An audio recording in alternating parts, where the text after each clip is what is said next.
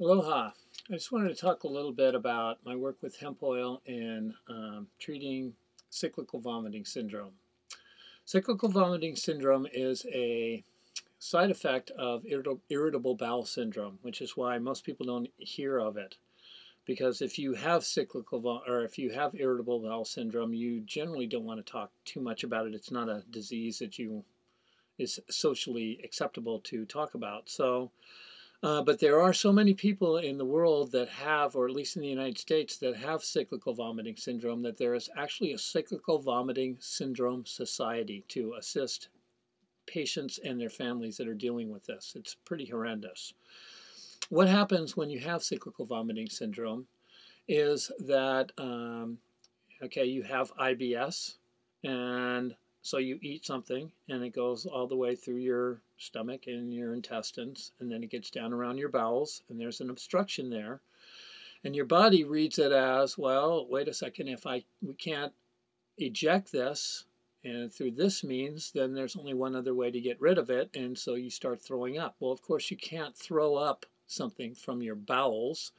So, because the body does not get any relief by trying that, throwing up, it will do it over and over again. The way that um, I know, um, as far as uh, I don't know if all doctors treat it this way, but the one patient that I worked with, um, the way that they would treat it for her would be she would be taken into the emergency room. They would uh, shoot her with such a severe dose of narcotics to bring the condition under control that she would have to stay in the hospital for two or three days so she would come down enough to walk from the curb to the car.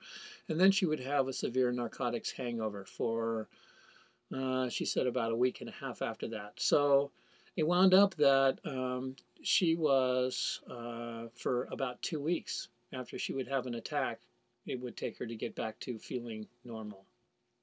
And so when this person came to me, I gave them um, some very small doses, like maintenance doses of hemp oil, and um, uh, gave them a couple buds too, and told this lady's husband to roll a joint and have it in a, one place where she could get to it with a lighter very easily in case of emergency break glass kind of thing.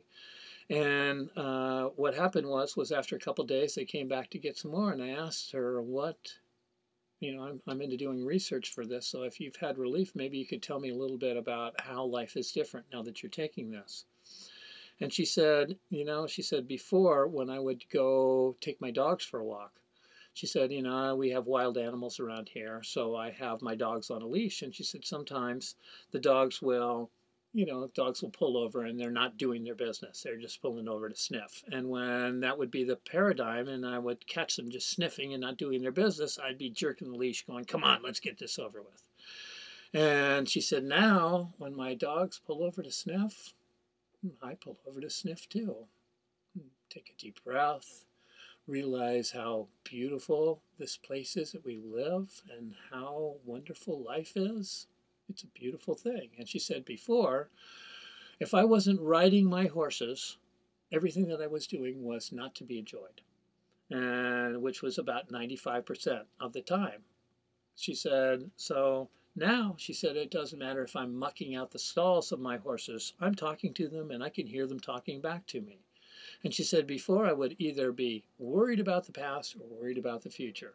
There was never a time to just be okay with the now. And she said, now when I get into that space, when I'm just taking stock, it's not about being worried about the past or the future. It's about feeling how good I feel in the moment. So to me, that just tells me that she became a Irie person in a matter of a couple days. Look up Irie if you don't know it. I R I E.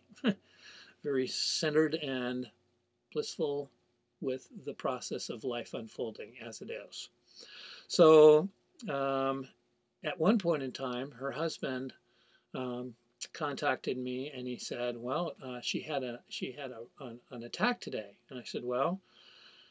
you're not at the hospital. What happened? And she said, well, he said, well, um, the thing was, was uh, she did exactly what you said. She went over, she got the joint out, she took a couple hits, she sat down, and in 10 minutes, it was completely under control.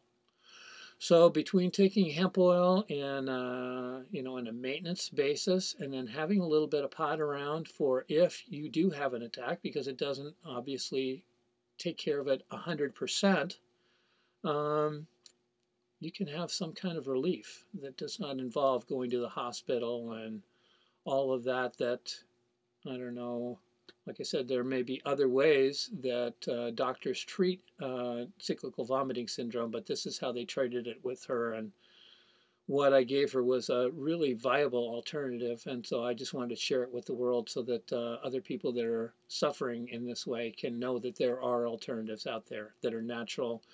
And the beautiful thing about hemp oil, once again, is that, you know, if you take it, if you find yourself in a position where you need to take it on a regular basis, you're blessed because there are so many things that are going on in your life that will just be in a better shape. Hemp oil is the best health tonic I could ever imagine. The things that have happened to my life and people that I know that have been taking it on a regular basis, it's just wonderful. I mean, you never have to worry about weight control. You go to your perfect weight and stay there. You never let anything really upset you. If you've got panic or anxiety, attacks, you they just don't they, they're not part of your life. You got pain, no pain pain just doesn't exist around hemp oil. It's a beautiful thing. So I highly encourage everybody to investigate it and get involved with it because it's the future of medicine and of our health and well-being. If we want to stay in a good space, it's here for us. So that's it.